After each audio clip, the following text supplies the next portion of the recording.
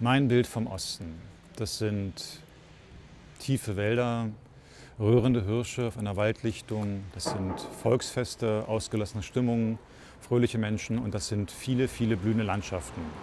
Das sind zumindest die Bilder, die Falk Haberkorn und ich in äh, vier verschiedenen ostdeutschen Archiven gefunden haben, kommunalen Archiven, und die genau die Zeit dokumentieren, 90, 94, also die Zeit des äh, heftigen Strukturwandels, der Zeit äh, der Treuhandjahre, der Abwicklung vieler tausender Betriebe. Und äh, Falk Haberkorn und ich fragen uns, warum sind es genau diese Bilder, die damals abgelegt wurden? Und wir befragten einen Archivar und der sagte, es gibt offenbar eine Überlieferungslücke aus der Zeit 1994.